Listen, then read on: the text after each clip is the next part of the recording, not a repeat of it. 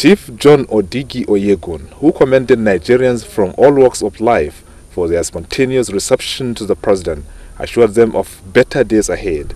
He said the speech of the president is a clear indication that he is in touch with governors and polity in his absence. He left nobody in any doubt that any Nigerian is entitled, as a matter of right, to live and work and operate in any part of this country.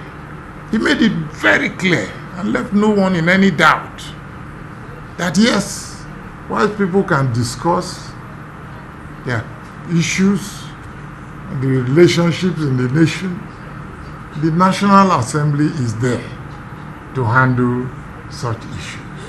Inaugurating the Kogi reconciliation team, the APC national chairman advised groups in the crisis to give peace a chance in the interest of the party. Uh, so the issue now is really to call just the principal groups and say, look, this has to stop. How do we go about it?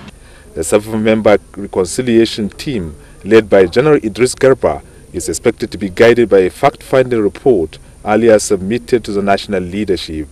In Abuja, Abdullahi Garba Kudu, NTA News.